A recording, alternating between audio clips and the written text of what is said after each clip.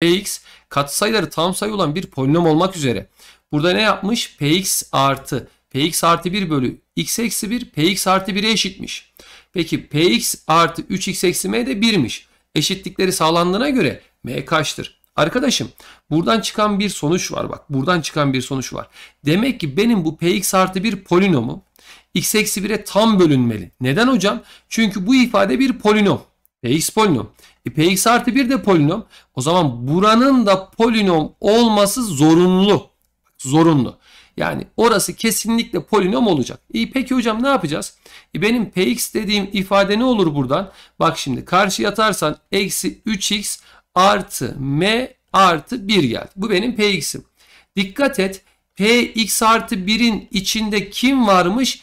Bu ifade varmış. Tam bölünüyormuş. x eksi 1'e tam bölünüyormuş. O zaman dikkat burayı sıfır yapan değer 1'dir. 1'i yaz. Hemen 1'i yazarsam yerine P2 eşittir 0 gelecek hocam. Bak 2 oldu bak. 1 yazdım 2 geldi. P2 0. Tam bölünecek çünkü. Gel 2 yaz buraya. Hemen tabii ki soru bitecek. P2 eşittir. Eksi 6 artı M artı 1 eşittir 0. M buradan kaç geldi? 5 geldi mi? Geldi. Olay bu.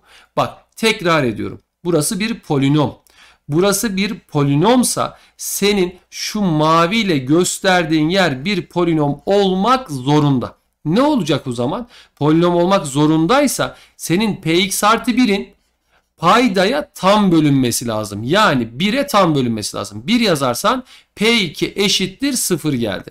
O zaman Px polinomun burada zaten vardı. P2'yi eşittir 1 yaparsam M de 5 geldi.